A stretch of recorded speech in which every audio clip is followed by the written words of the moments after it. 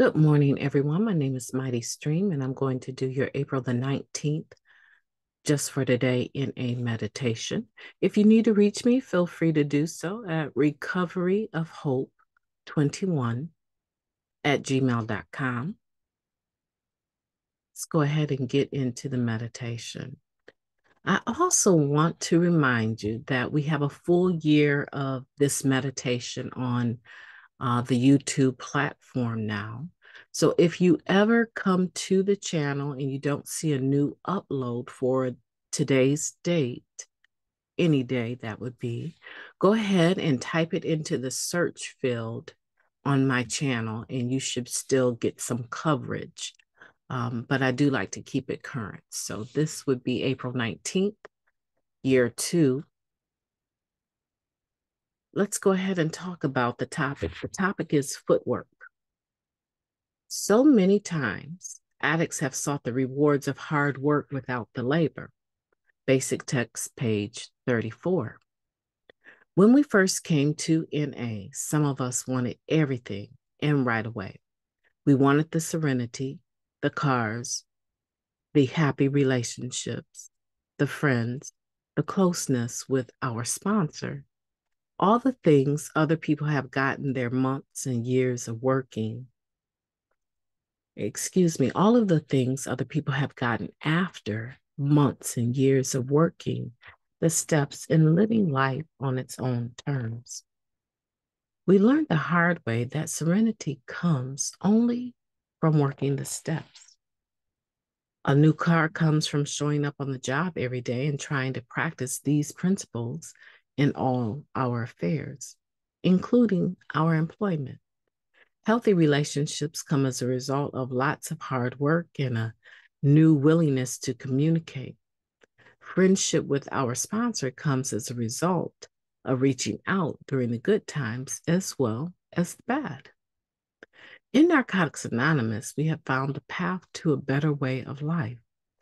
To reach our destination, however, we must do the footwork.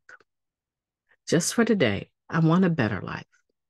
I will make an inventory of what I want, find out how to get it, talk with my sponsor about it, and do the necessary footwork.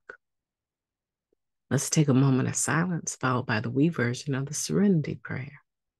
Moment of silence now. Thank you. God, grant us the serenity to accept the things that we cannot change, the courage to change the things that we can, and the wisdom to know the difference.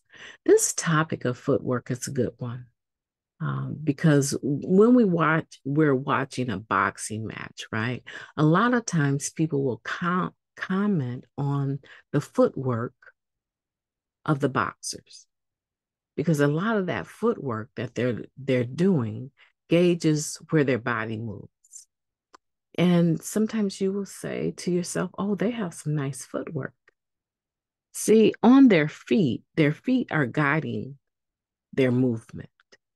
And if they have good footwork, they have good movement, which means that they're able to oftentimes duck and dodge, right?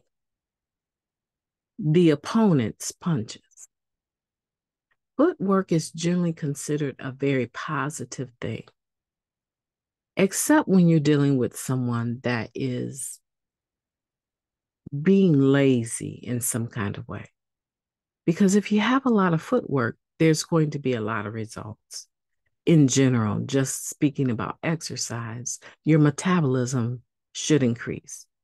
This new fad of having uh, a sports watch on and keeping track of how many steps that you take is another form of footwork. The individual that takes 10,000 steps a day is clearly going to be more healthy than the individual that takes a thousand steps a day. Basically, unless they're a swimmer or something like that. But you get the point, right? Footwork equates to results. And it's the same way in recovery if we put in the footwork, we're going to have the results that we're seeking.